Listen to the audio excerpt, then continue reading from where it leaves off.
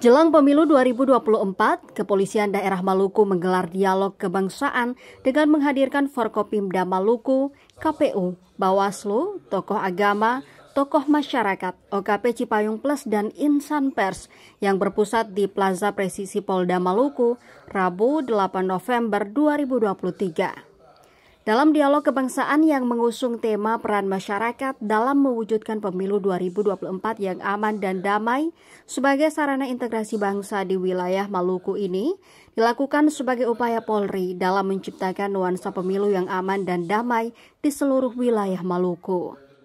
Menurut Kapolda, selain dialog kebangsaan, Polri juga sedang melaksanakan operasi Mantap Berata Salawaku 2023-2024 yang akan berlangsung selama 222 hari mulai 19 Oktober 2023 hingga 20 Oktober 2024 mendatang dengan melakukan komunikasi publik untuk memberikan sosialisasi dan edukasi kepada masyarakat agar masyarakat senantiasa menjaga persatuan dan kesatuan bangsa serta ikut berpartisipasi dalam menjaga stabilitas Kamtipmas pada pemilu 2024. Jadi intinya nanti ini kita akan lakukan sampai uh, nanti menjelang pada saat hari uh, pemungutan suara tanggal 14 Februari.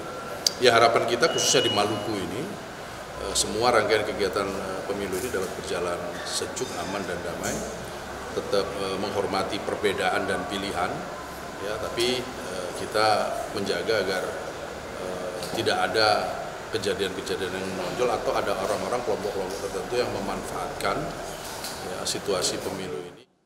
Dengan terjalinnya sinergitas antar seluruh elemen ini, Kapolda yakin dan percaya bahwa pelaksanaan pemilu 2024 di wilayah Maluku akan berjalan dengan aman dan damai. Yahya Lating, Kompas TV, Ambon, Maluku.